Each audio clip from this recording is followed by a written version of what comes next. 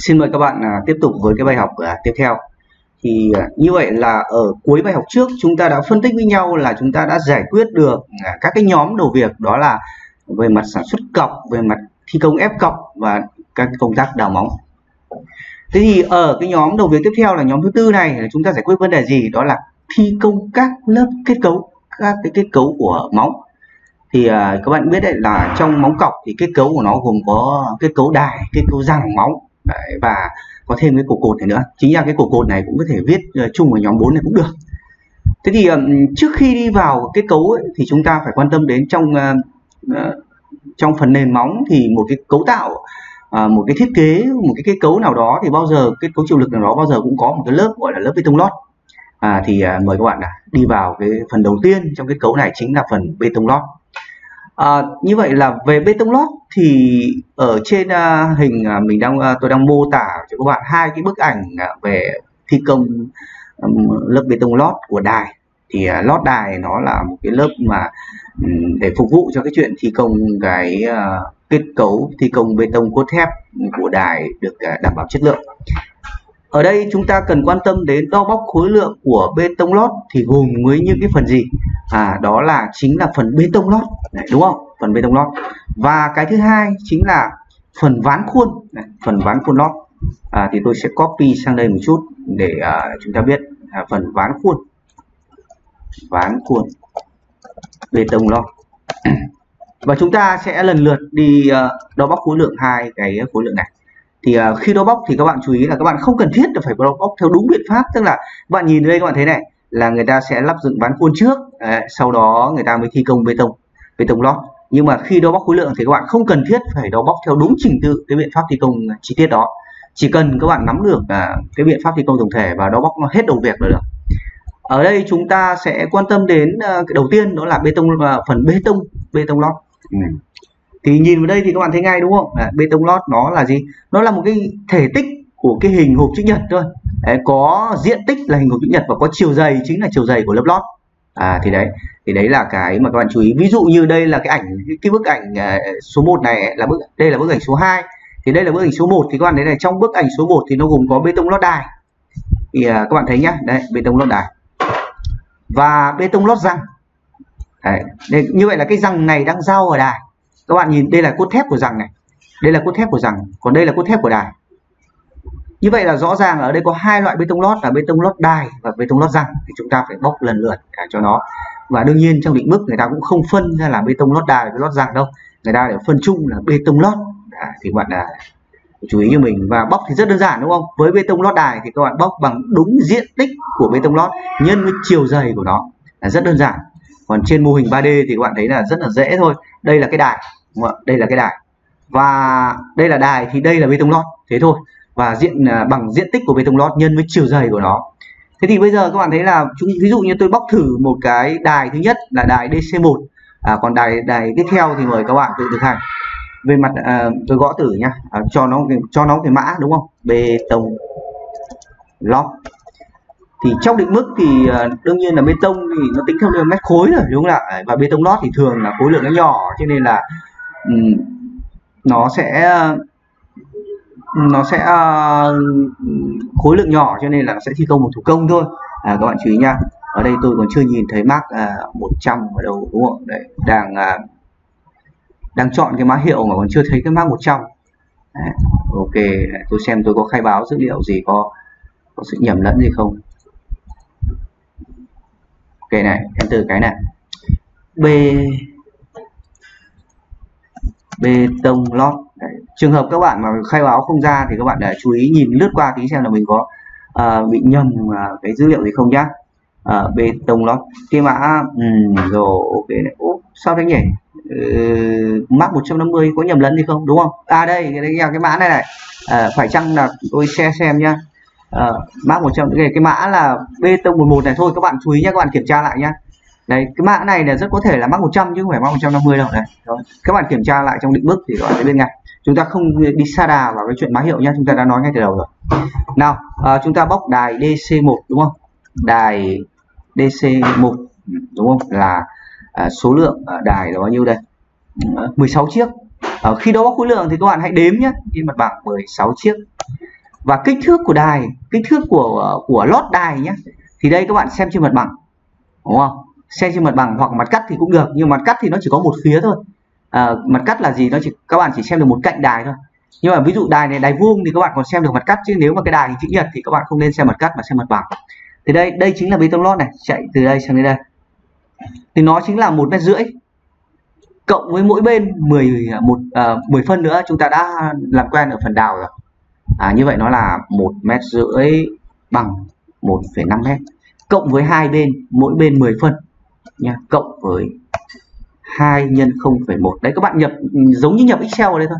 Là 1 mét 7 dài 1 mét 7 và rộng cũng 1 mét 7 các bạn copy paste sang đây. Đấy. Và chiều cao bê tông lót thì đương nhiên là bê tông lót nó sẽ là 10 phân. Đấy các bạn thấy này. Đấy, chiều dày của bê tông lót đây này. Đấy. đây này. Dày 10 phân. Đấy độ dày của bê tông lót ok nhá thì các bạn sẽ nhập nhanh vào đây là chúng là chúng ta sẽ có ngay khối lượng 0,1 và đơn vị nó là gì? Mét khối cho nên chúng ta không có quy đổi gì cả. Đấy. tương tự các bạn tính cho đài DC2 à, mời các bạn à, à sẽ à, sẽ thử sức vào cái đài DC2 thế thì à, đó là tính một cách tổng thể về bê tông lót. Nếu bạn thấy này ở đây tôi đang ví dụ đây là lót của một cái cọc cọc tròn cọc ứng suất trước. Như vậy rõ ràng là trong thể tích bê tông lót là cấu là cái cấu kiện mà được chế tạo sau khi có cọc. À, cho nên là nó khi các bạn có cọc xong rồi các bạn ép cọc xong rồi các bạn đập đầu cọc rồi thì các bạn mới đổ bê tông lót cho nên là nó có cái phần đầu cọc chiếm chỗ trong bê tông lót à, các bạn chú ý cho mình như thế. À, cho nên là các bạn chú ý ở cái đó thì ở đây ví dụ đây các bạn thấy đây là bê tông lót đấy thì nó có một cái phần đầu cọc chiếm chỗ trong bê tông lót à, thì như vậy là nó rất là dễ. Vậy các bạn phải trừ đi đúng không? Trừ đầu cọc chiếm chỗ. Thì trừ cái này rất đơn giản trừ đầu cọc thì cho trừ đi cho nên các bạn cho dấu trừ là 96 cái đầu cọc. À, đương nhiên là diện tích của cọc thì giống nhau rồi 0,25 Đấy, không phải bằng diện tích cọc. Nhân với chiều cao cọc chiếm chỗ thì các bạn nhìn vào thiết kế này thì rõ ràng là bê tông lót dày bao nhiêu thì cọc chiếm chỗ bấy nhiêu đúng không? Đấy như vậy là rõ ràng ở đây là cọc cũng chiếm chỗ bằng đúng chiều dày của bê tông lót rất đơn giản đấy thôi. Đấy, tức là các bạn nhập à, một phân 10 phân vào đây 0,1 đấy trừ có cho dấu trừ nhé ok như vậy rõ ràng là bê tông lót rất dễ. Các bạn thấy rất dễ dàng. Thế thì à, đó là cái cách tính khối lượng bê tông lót đài. Và tương tự các bạn có thể tính bê tông lót rằng đúng không? Đấy. bê tông lót rằng ở đây tôi ghi đây là bê tông lót dạng móng à, thế thì như vậy là bê tông lót rằng móng thì với bê tông lót rằng móng thì rất là dễ thôi. Thì các bạn à, sẽ nhìn vào mặt bằng à, mặt bằng móng các bạn tính nhá. Nhìn vào mặt bằng móng này, này kết cấu móng thì các bạn hãy bóc theo từng loại loại răng. đấy ví dụ như là răng một răng hai gì đó này. Đấy. À, tôi sẽ thống kê vào đây thì bê tông lót thì gồm có này đúng không nào? Chúng ta tổng kết với nhau tí ở đây chứ không có quên mất. Ok rồi. À, lót đài. Đấy. lót rằng à rồi ok này. Enter lót rằng ok. Đấy. Đấy nha chúng ta có hai khối lượng chúng ta phải tính. Nó là thể tích hình học cho nên rất dễ. Đấy ví dụ răng thì các bạn nên tính theo từng loại răng nhé. Ví dụ như là nó có thể rằng GM1 này, này đấy. Rằng GM2 này đấy. À, thì các bạn thấy rất dễ đúng không? Ở đây nhé ví dụ tôi tính thử cho các bạn nhé các bạn tôi tính rằng GM2 chẳng hạn nhé thì đây rằng GM2 nó chạy từ đây này nó có đoạn này, này có đoạn này này đoạn này này.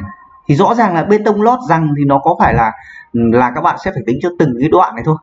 Đấy bởi vì là nó có một cái phần giao cái đài không tính. À chính vì thế cho nên là nhìn vào cái ờ, 3D này các bạn thấy à nhìn vào cái cái ảnh vẽ các bạn thấy ngay này. Lót rằng bê tông lót rằng các bạn chỉ tính từ mép bê tông lót đài trở đi thôi.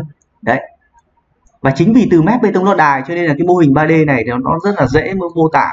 Từ mép bê tông lót đài thì các bạn sẽ uh, lấy bằng chiều dài tim trục đây này đấy chiều dài tim trục và các bạn sẽ chiều dài tim trục thì thường nó sẽ là tim của đài nhá. Còn nếu nó đài lệch thì nó có thể là không phải là tim. Thì lấy chiều dài chiều dài tim trục xong trừ đi một nửa của lót đài. Thì là xong đấy là các cái đài biên. Còn nếu có đài nào cái đài nào ở giữa thì bạn thấy em ví dụ đây tôi có nhiều đài nhé thì những cái đài ở giữa này đài ở giữa này là tôi trừ cả đi bê tông lót đài bằng nhá tổng chiều dài tim trục này. Đấy. trừ đi toàn bộ cái lót đài này toàn bộ lót đài này. Và cái đài biên này thì trừ một nửa lót đài biên này trừ một nửa lót. Đấy rất đơn giản như thế nhá. Thì các bạn sẽ tính là ơi tôi tính thử nhá ví dụ như rằng gm2 đúng không? Ở đây G, gm2 dành gm1 các thứ là cho các bạn tính nhá gm2 thì số lượng là bao nhiêu thì các bạn uh, xem trên hình đếm thôi. 1 2 3 4 5 6 7 8 à, số lượng là 8 chiều dài là bao nhiêu thì các bạn sẽ chú ý cái chiều dài này. Là các bạn sẽ viết tổng chiều dài tiêm trục là 99 đấy 99 đây này. Được chưa? Thì nhìn vào đây thì các bạn sẽ thấy ngay các bạn trừ này 9 mét 9 trừ đi toàn bộ cái lót này trừ đi toàn bộ cái lót này. Và mỗi lót này là 1m7 chúng ta vừa tính rồi là hai lần của một mét bảy là phải trừ đi. Trừ đi hai lần một mét bảy. Và trừ đi một nửa cái lót bên này và một nửa cái lót bên này. Và hai cái đài này có khả năng giống nhau. Ờ, rất rất có thể là hai đài này các bạn nhìn thấy nó bằng nhau. Đài này là đài DC2 à chị chúng ta sẽ xem này. DC2 đây. Đấy DC2 nó có hai cạnh. À đài này đài hình chữ nhật nhé các bạn chú ý cho mình. Cạnh ngắn của nó đây này là 75 85 95 nhưng cạnh dài của nó là một mét rưỡi một mét sáu mét bảy. Nhiệm vụ của chúng ta là chúng ta phải xem nó nó nó chúng ta phải trừ cạnh nào. Như vậy nhìn vào cái mô hình à, nhìn vào cái mặt bằng móng này rõ ràng chúng ta trừ là trừ một nửa của cạnh ngắn chứ không phải trừ một nửa cạnh dài. À, như vậy chúng ta à, tôi sẽ tổng hợp lại như sau. Chúng ta cần phải trừ thằng này với thằng này là trừ đi hai lần của cái một mét bảy tức là bề rộng toàn bộ bề rộng lót của hai cái đài này. Và trừ đi hai lần đúng không? Mỗi lần hai lần cái một phần hai của cái bề rộng lót này và bề rộng lót này. Đấy, mỗi bên 1 phần 2 đấy, được chưa? Và bề rộng lót này nó chúng ta vừa đếm như là mà 75 85 95 thì đó. Như vậy là mỗi lần mỗi bên một nửa như vậy mỗi bên một nửa thì có nghĩa là trừ cả. Đấy, mỗi bên một nửa cộng lại là trừ cả. Như vậy chúng ta sẽ đã có được cái thông tin cụ thể. Thì các bạn đấy 75 85 95 đúng rồi. Chúng ta sẽ đưa vào đây. Bằng 9m9 là tổng chiều dài. Trừ đi hai lần cái đài đài to là 1m7 đây này bạn nhìn này một mét bảy trên này này. Đấy đây một mét bảy này. Trừ đi uh, một lần hai lần nhân với 0,95 là cái đài con. Nhưng mà này chia đôi. Đấy tôi cứ viết đầy đủ như này nhá. Tức là hai lần mỗi lần tính có một nửa thôi.